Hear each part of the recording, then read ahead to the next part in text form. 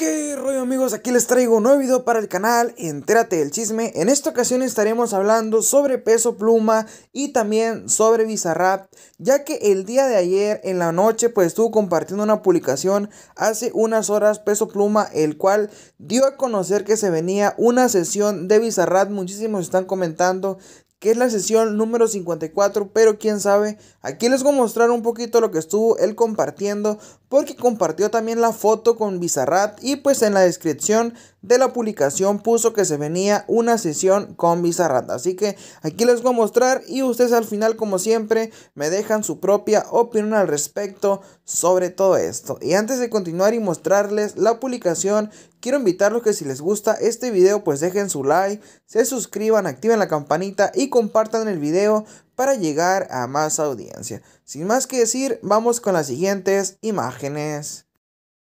Hoy toca el buen Visa. ¿Estás nervioso? Sí, mira lo que me regaló la gente. ¿Qué tal, eh? aquí en EDC. Va a estar mamón, va a estar bueno. Enhorabuena, amigo. Que te vaya bien.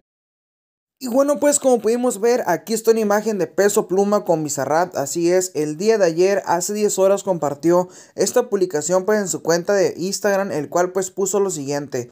Esperen la sesión del Bizarrat número 1. Así cabe declarar Peso Pluma que será pues el primer mexicano del regional mexicano que va a ser una sesión con Bizarrat y que será publicada como muchos sabemos también se grabó una sesión de Bizarrat con Natanael Cano pues el cual pues aún no dan fecha y al parecer todavía no está terminado este tema pero me imagino que Peso Pluma sí va a aprovechar su oportunidad, ya que está en su mejor momento, pues Peso Pluma en el regional mexicano, uno de los artistas más fuertes regional mexicano, pues ahorita en estos momentos, así que sí va a aprovechar esto y pues al parecer Bizarrap ya lo invitó pues para Argentina para grabar este tema. ¿Ustedes qué piensan al respecto? Coméntenme aquí abajito en la cajita de los comentarios, también sobre nuestro contenido, si te gustó el video. No olvides que puedes dejar tu like, suscribirte y activar la campanita para que te notifique cuando subamos nuevo video.